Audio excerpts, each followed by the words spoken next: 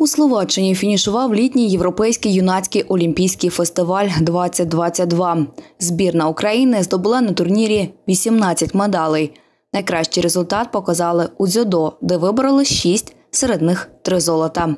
Ще сім нагород українці здобули у спортивній гімнастиці. Чотири з них приніс 16-річний запоріжець Радомир Стельмах після виступів на шести снарядах.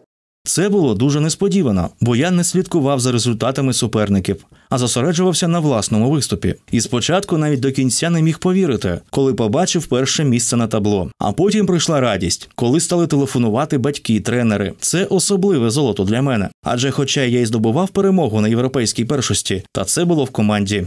Та тепер маю індивідуальну нагороду такого гатунку і хотів би присвятити її нашій рідній ненці Україні. Це мій маленький внесок у нашу перемогу прокоментував свій виступ Запоріжець. Тим часом у Польщі на черговому світовому турі з пляжного волейболу Біч Про Тур Ф'ючерс за місце на підесталі змагалися три представниці нашої області: Ангеліна Хміль, Тетяна Лазаренко та Валентина Давидова. Після успішного марафону наші золоті дівчата Хміль та Лазаренко дозволили собі невеликий тайм-аут і стали п'ятими. Проте медаль найвищого гатунку вдалося вибороти інші представниці школи вищої спортивної майстерності.